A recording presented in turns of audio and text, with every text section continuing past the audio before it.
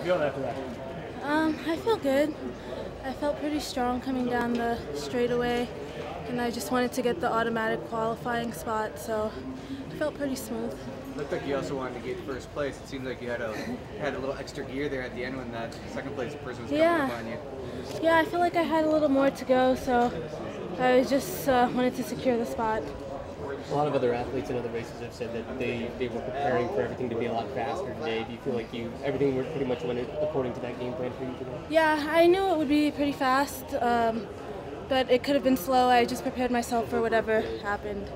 Um, I just go with whatever's going on and just make sure to secure my spot for the final. Once you pulled ahead in that last curve, did you feel like you had it there? Yeah, I felt like I had it then uh, in the last uh, straightaway. I didn't feel anyone behind me, but just wanted to secure it anyway, just in case.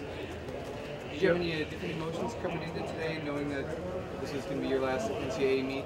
Yeah, it's kind of bittersweet.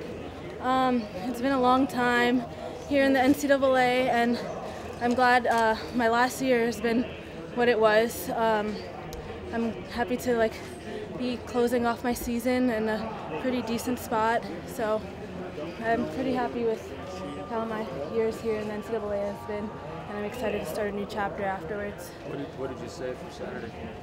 For Saturday, um, just trying to win, just like everyone else out here. So it'll be a fight to the end.